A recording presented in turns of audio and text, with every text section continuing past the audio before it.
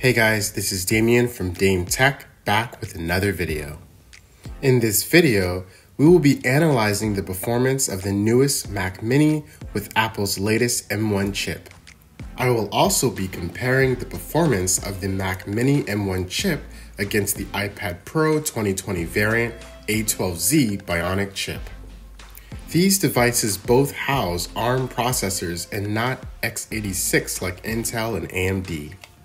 The M1 chip is huge for Apple due to the fact that not only is it faster than the majority of the Intel processors in the older Mac models, but this chip natively runs mobile apps, which Intel and AMD SoCs can't do.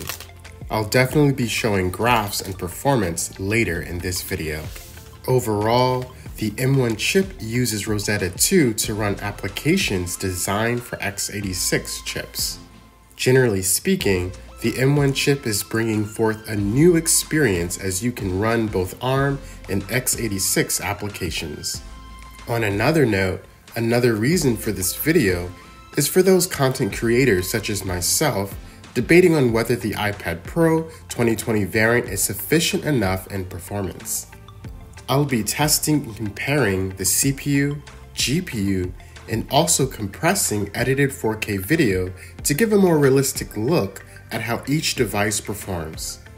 These tests should also give a realistic outlook on the performance of the upcoming iPad Pros that is rumored to be announced next week, Tuesday, March 23rd.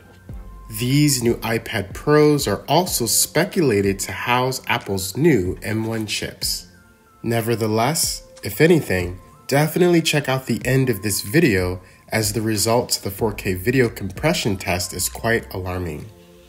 But before we look at these results, let's first look at the CPU, which is responsible for running all the logic and operations required by the operating system and apps.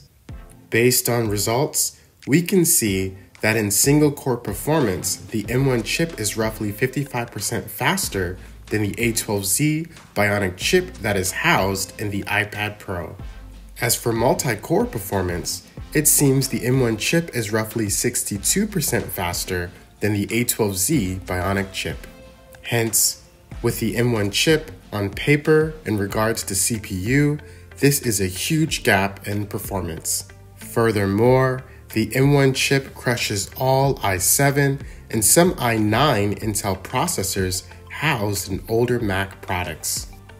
Nevertheless, as for the GPU, which is designed to handle any graphics operations in your device, we can see that the M1 chip is roughly 88% more powerful than the A12Z Bionic chip on paper, which again is a huge gap in performance. However, here is where things get very interesting. Due to the M1 chip sharing the same ARM architecture as the A12Z Bionic chip, I was able to test both devices in compressing edited 4K video to 1080p using the same editing application. As you can see, both devices have the same 4K video and color effect applied to make sure this test is as objective as possible.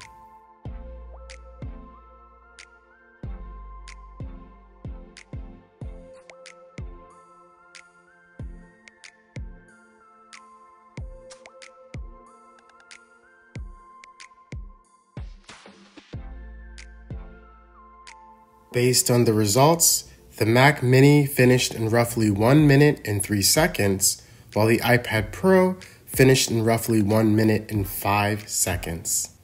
These results were very unexpected due to how much the M1 chip crushes the A12Z Bionic chip and benchmarks. This is another classic example of how benchmarks don't always tell the full story. However, on the flip side, 4K video compression test is just one standardized way to test these powerful processors. Demanding CPU and GPU games could potentially merit different results.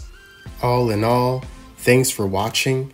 If you've made it this far, you might as well hit that subscribe and notification button to stay tuned for more informational videos like this.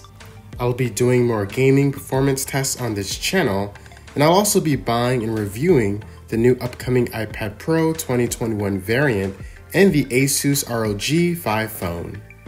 Please stay safe and see you next time.